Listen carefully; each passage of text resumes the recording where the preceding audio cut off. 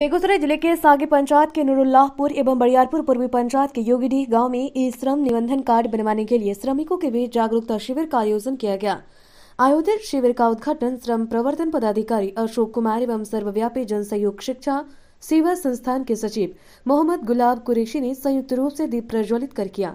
इस मौके पर अपने संबोधन में श्रम प्रवर्तन पदाधिकारी ने कहा कि इसी वर्ष 17 सितंबर 2021 को केंद्र सरकार ने ई श्रम निबंधन के लिए श्रमिकों के बीच जन जागरूकता अभियान की शुरुआत की थी। उन्होंने कहा कि सरकार ने देश में कितने मजदूर हैं, उसका ई श्रम कार्ड के ज़रिए आकलन कर रही है, तथा श्रम कार्ड को बैंक खाते से भी लिंक करवा रही है।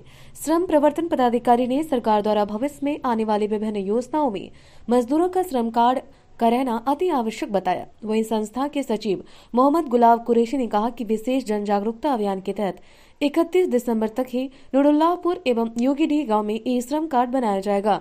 उन्होंने अधिक से अधिक मजदूरों को अविलंब ई श्रम कार्ड बनवाने की अपील की। मौके पर उप मुखिया वीणा देवी, संस्था के कार्यक्रम, प्रभारी रौनक खातून, वार्ड सदस्य मीना देवी, जिला विधिक सेवा प्राधिकार से धर्मेंद्र कुमार, अजय कुमार, सीएससी ऑपरेटर मोहम्मद आज़म, मोहम्मद रेहान, राम शोभित दास, दिलीप यादव समेत अनेक ग्रामीण मौजूद थे। बीडी न्यूज़ बिहार के लिए बेगूसराय की खोदाबरपुर से राजेश कुमार की रिपोर्ट। आधार कार्ड मेरे पास भी है नौकरी करते हैं आधार कार्ड इनके पास भी है संगठन में काम करते हैं एनजीओ में काम करते हैं बैंक में काम करते हैं एयरपोर्ट में काम सबके पास आधार कार्ड है। लेकिन ये श्रम कार्ड उसी के लिए है जो मजदूर वर्ग से आता है।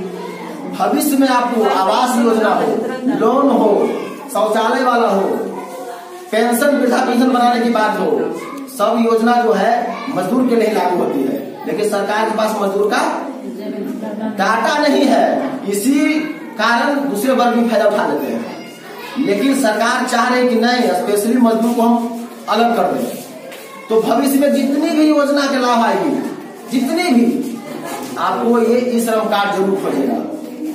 इसलिए सरकार इसको रजिस्ट्रेशन के लिए निःशुल्क व्यवस्था किया है।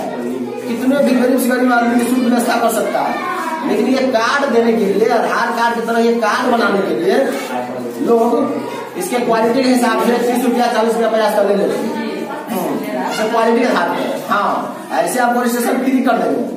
आप रजिस्टर्ड हो जाइएगा। लेकिन आपके पास तो ये पहचान पत्र रहना चाहिए। तो ये बना के दे देंगे। इनको इसमें खर्च लगता है। उसके बदले ये लेते हैं।